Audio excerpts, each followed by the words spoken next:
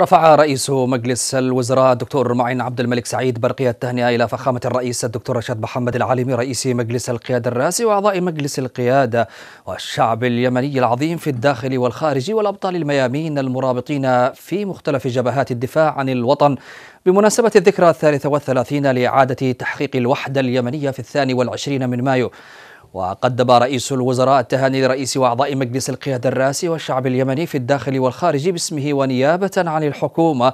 خالص التهاني والتبريكات بهذه المناسبة الوطنية التي شكلت نقطة مضيئة في التاريخ العربي الحديث والمعاصر وثمرة لنضالات وتطلعات اليمنيين شمالا وجنوبا.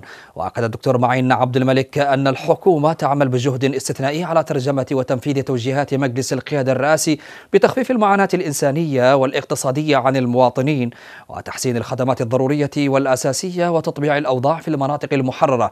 وكرر رئيس الوزراء في ختام البرقية التهنئة الصادقة لرئيس وأعضاء مجلس القيادة الرئاسي وكل أبناء شعبنا اليمني العظيم في الداخل والخارج بهذه المناسبة.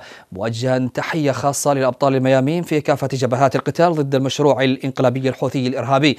سائلا الله العلي القدير أن يرحم الشهداء الأبرار ويشفي الجرحى ويفك قيد الأسرى وأن يعيد علينا هذه المناسبة وقد تحقق كل ما نصبو إليه من استقرار وأمن وازدهار.